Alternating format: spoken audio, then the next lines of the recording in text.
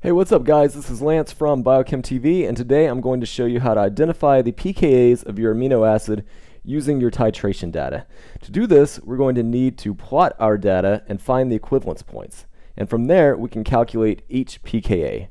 So we're here in Excel. I have some acid titration data for an unknown amino acid titration. The first column is the volume of HCl titrated in, and the second column is the corresponding pH. The first thing we should do is plot our data. So to do this, we're going to click on Insert and go to a scatter plot. We're going to right click and choose Select Data. We're going to add a series. We're going to label it titration. Choose our X values. Our X values are going to be our volume. So we'll select all of those. Our Y values, we'll delete that equals 1 and we'll select all of our pH data for our Y values. And then we'll hit OK and OK again. So let's make this plot look a little bit better. So first thing we'll do is delete this heading here. We'll add labels for each of our axes. So we'll go to Chart Tools, Design, Add Chart Element, Axis Titles, We'll make our horizontal axis milliliters HCl titrated. We'll do the same thing for our y-axis, which is simply our pH. And if you want to, you can go ahead and change the way your actual data looks. You can change the color and the symbol if you want to. So just looking at this, it's kind of hard to see exactly where the equivalence points are. We can see a couple of steep areas, but it'd be a lot easier if we could do this mathematically. So we're going to use a little bit of basic calculus to help us out. We're going to calculate the first derivative, the change in pH with respect to volume. To do that, we're going to add three new columns, change in volume, change in pH, and change in pH with respect to volume. So let's go ahead and do that now. So we have change in volume, change in pH, and change in pH with respect to volume. Okay, so let's go ahead and calculate all these values.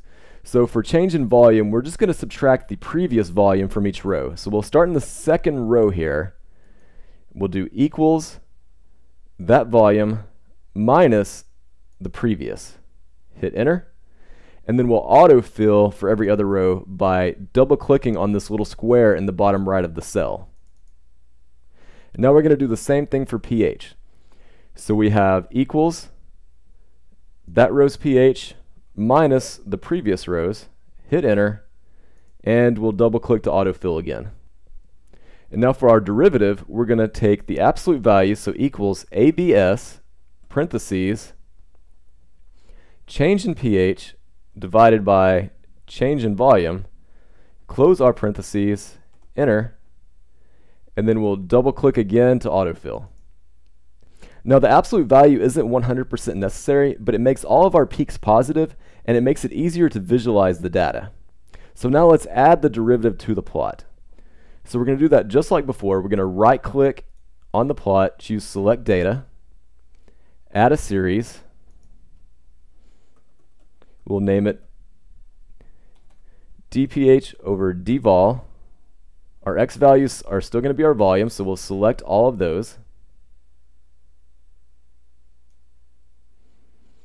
And our y values will be our newly calculated derivative column.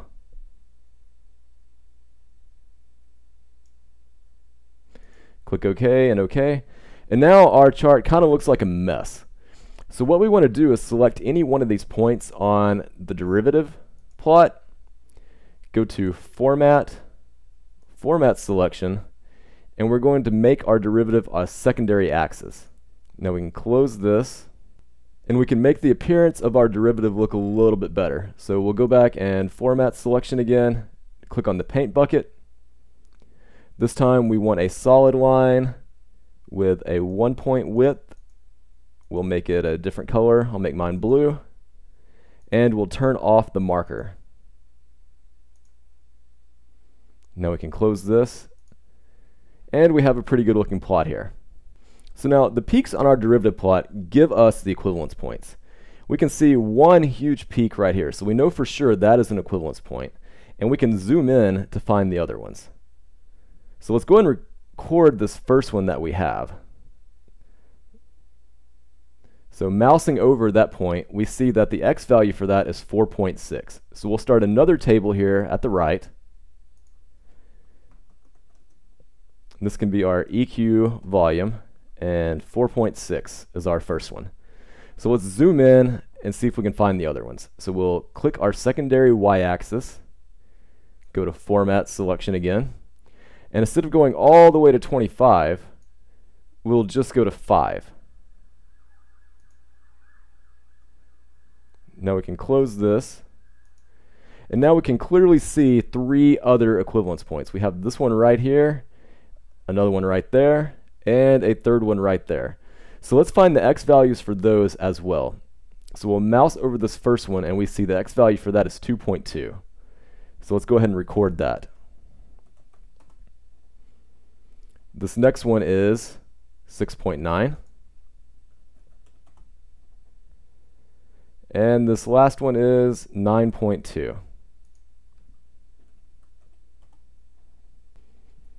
So we want these equivalence volumes in ascending order, so I'll go ahead and swap these two. So 2.2 and 4.6.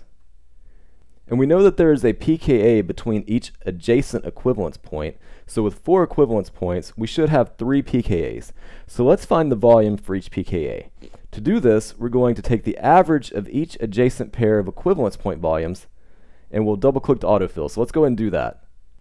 So we'll go ahead and start a new column here for pKa volume.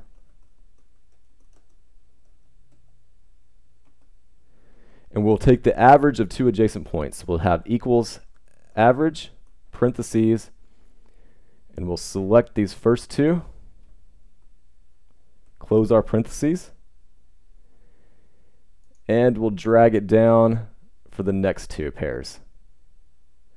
So we have three pKa volumes here. So now all we have to do is look up these volumes in our original data.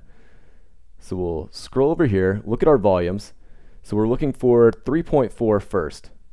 So at 3.4, we had a pH of 9.79. So our first pKa is 9.79. And now we're going to look for 5.75.